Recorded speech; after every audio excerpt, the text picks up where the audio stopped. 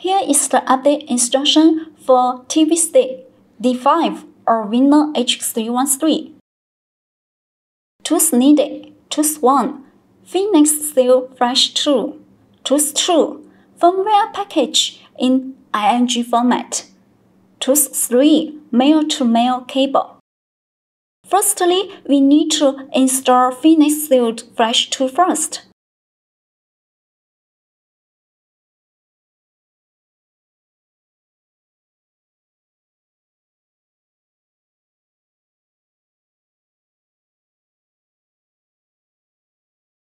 After installation, we can proceed to update.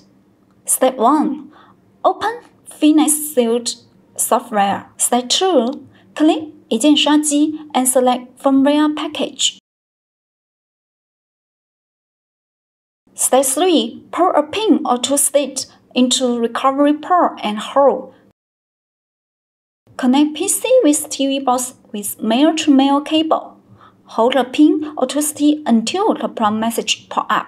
Then lose the pin or twist it. Click 是. Update is on process automatically in Phoenix Suit. It takes several minutes before update completes and then the prompt message pop up.